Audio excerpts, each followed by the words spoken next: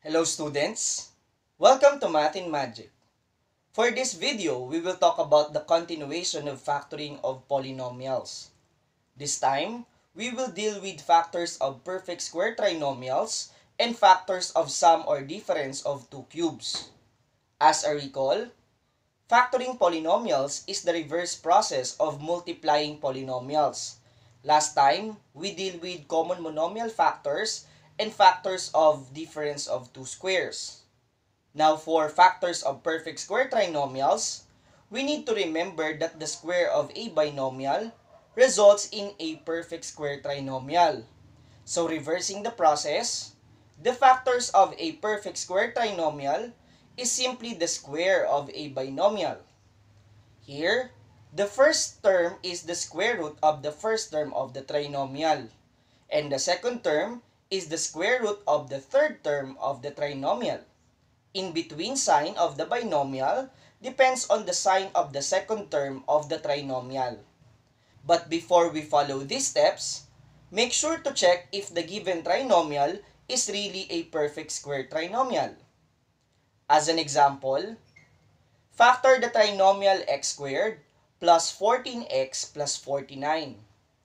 Now, to tell if this trinomial is really a perfect square, we first need to get the square roots of the first and last terms. The square root of x squared is x. The square root of 49 is 7.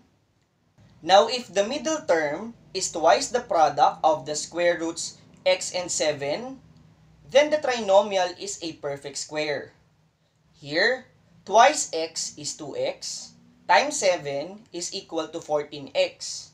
Since that is the middle term, therefore x squared plus 14x plus 49 is a perfect square trinomial. Now to factor this, get the square roots of the first and last terms. In this case, those are x and 7. Second, use the sign of the middle term of the trinomial between these roots Here we will use plus. And lastly, raise the binomial x plus 7 by 2 or second power. The factors now of x squared plus 14x plus 49 are quantity x plus 7 and x plus 7 or simply the square of quantity x plus 7. For our second example, Factor the trinomial y squared minus 22y plus 121. Again, we need to verify first if this is a perfect square. Doing the previous procedure, get the square roots of the first and last terms. Square root of y squared is y. Square root of 121 is 11. Now, if twice the product of y and 11 is the middle term, then it is a perfect square trinomial. 2 multiplied by y is 2y, times 11 is 22y. And since this is the same with our middle term, meaning this is really a perfect square. Now to factor this trinomial, we will get the square roots of the first and last terms, in this case y and 11. Next, copy the sign of the middle term of the trinomial between the roots, Here we will use minus. Lastly, raise the binomial y minus 11 by 2.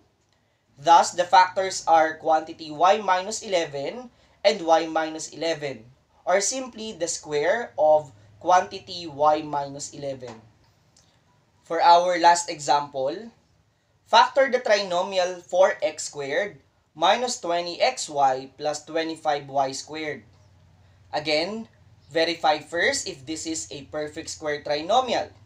Get the square roots of the first term 4x squared and last term 25y squared. Those are 2x and 5y respectively. Next, twice the product of 2x and 5y. 2 times 2x is 4x times 5y is 20xy. Since that is also the middle term, this means that the trinomial is a perfect square. Now we can proceed to the factoring process. Getting the square roots of the first and last terms, those are 2x and 5y. Next, copy the sign or operation of the middle term, that is and then raise the binomial 2x minus 5y by 2. Hence, the factors of the trinomial for x squared minus 20xy plus 25y squared are quantity 2x minus 5y and 2x minus 5y or simply the square of quantity 2x minus 5y. After knowing the process of factoring perfect square trinomials, we will now proceed to factors of sum or difference of two cubes. Here we will follow certain factoring steps. Also take note that the factors are composed of a binomial and a trinomial. For step number 1, get the cube root of each cube term. Step number 2, copy the operation between the cubes and then use the cube roots in step 1 to obtain the binomial factor. For step number 3, to form the trinomial factor, we need to square the first cube root. Next, we will multiply the two cube roots. The sign of the product is opposite the sign between the cubes. And lastly, square the second cube root. Here, notice that in the sum of cubes, the terms of the trinomial factor have alternating signs, while for the difference, the terms of the trinomial factor are all positive. For our first example, Factor x cubed plus 216. Here we have sum of two cubes. Applying the steps, get the cube root of each cubed form. The cube root of x cubed is x. Cube root of 216 is 6. Now take the operation between the cubes. In this case, that is plus or addition. Then use this operation to the cube roots x and 6. Thus, the binomial factor is quantity x plus 6. Next, for the trinomial factor, get the square of the first cube root x. That will be x squared. Next, multiply the two cube roots. x times 6 is 6x. And the sign of this term should be the opposite sign between the cubes.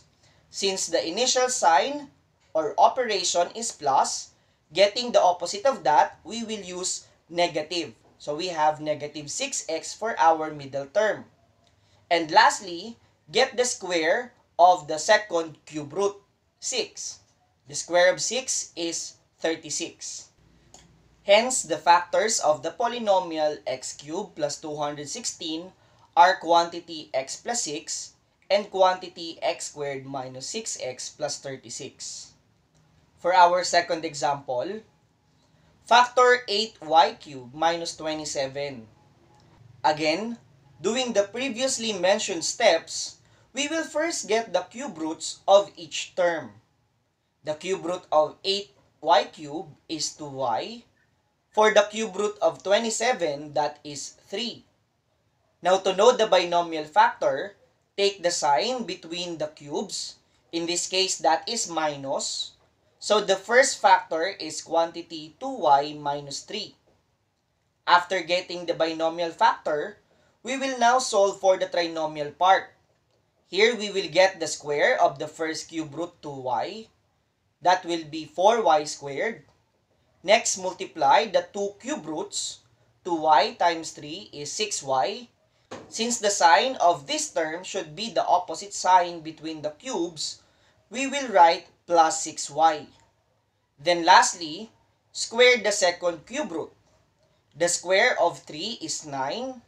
Hence, the factors of the polynomial 8y cubed minus 27 are quantity 2y minus 3 and quantity 4y squared plus 6y plus 9. For our last example, factor completely the polynomial x raised to 6 minus 1. Here we will apply two factoring methods. Those are difference of two squares and sum or difference of two cubes. Notice that the binomial is a difference of two squares since we can rewrite it as quantity x cubed plus 1 times quantity x cubed minus 1. Again, to get the factors of difference of two squares, we get the square root of both first and second terms, and then express those as sum and difference. The square root of x raised to 6 is x cubed. The square root of 1 is also 1. Thus, x raised to 6 minus 1 is the same as quantity x cubed plus 1 times quantity x cubed minus 1. And then doing the steps, factor now of x cubed plus 1 are quantity x plus 1 for the binomial and then x squared minus x plus 1 for the trinomial.